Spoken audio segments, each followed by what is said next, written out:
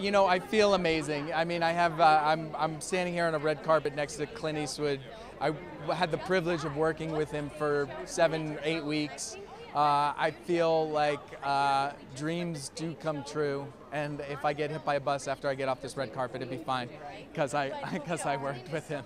It's a, it's a wonderful story. No? It's not only uh, drama, uh, American dreams, music, but also uh, uh, gambling. It's everything.